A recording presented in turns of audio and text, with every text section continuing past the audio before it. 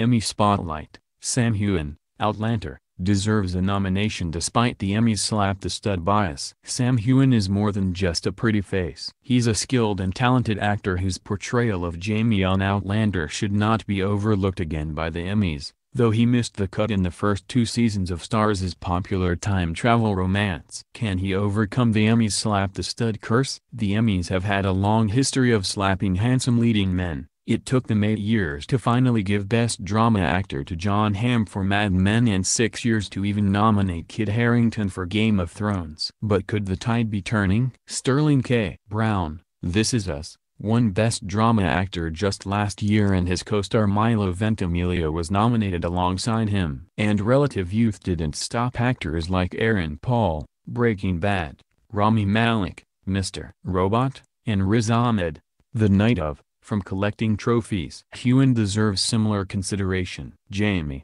Heughan, spent half of the third season centuries apart from the woman he loves, Claire, Caitriona Balfe. This may have been torture for the show's fans, but it allowed both Balfe and Heughan the opportunity to shine individually. But Heughan was at his series best in their reunion episode, A. Malcolm. As Claire shows Jamie pictures of their daughter Brianna, Sophie Skelton, already grown, his steely glare slowly breaks as he becomes emotional over how much of her life he's missed. His shock slowly wears off as he and Claire reacquaint themselves with each other until it's as if no time has passed at all. He was praised by critics for his performance. Kayla Kumari Upadhyaya, A. V.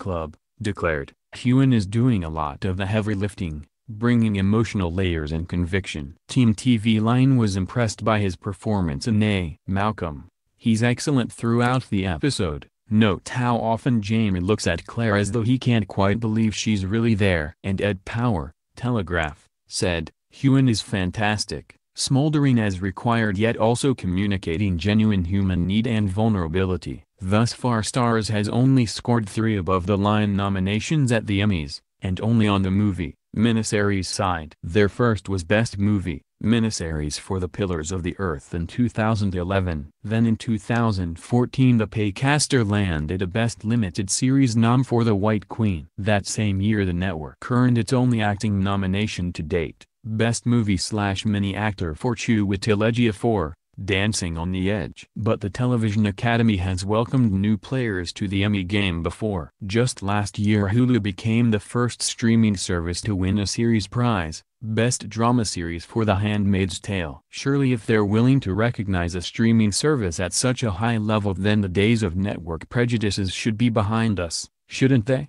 In its first two seasons Outlander only received three nominations. For its first season it scored a single nomination for Best Original Dramatic Score for the episode Sassenach in 2015. And for its second season, where the first half was set in 18th-century Paris, they deservedly received noms for Best Costumes, Period, Fantasy, for the episode Not in Scotland Anymore and Best Production Design, Period.